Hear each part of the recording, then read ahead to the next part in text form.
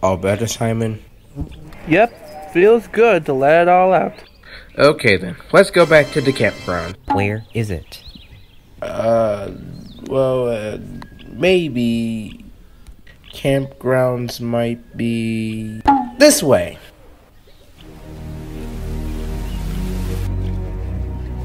Come on, guys, put y'all's back into it. We're almost there.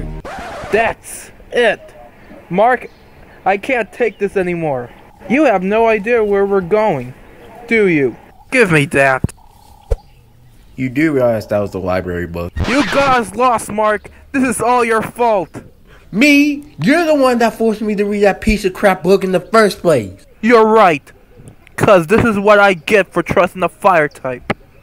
What's that supposed to mean? Charmanders suck. You shouldn't have said that, Simon.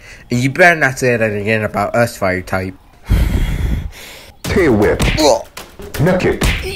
Body attack. White.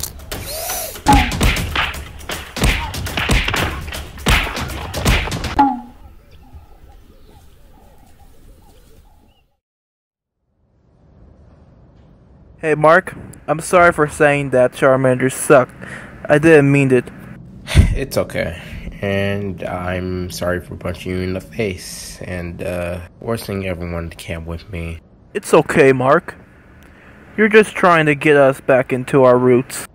I lied. I didn't care about camping with Mother Nature or getting us back into our roots.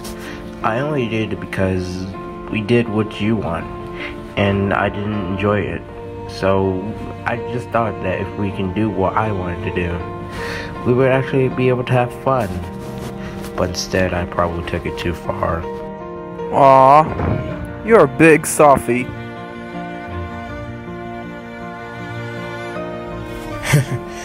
I guess I am. But you better not tell everyone at school.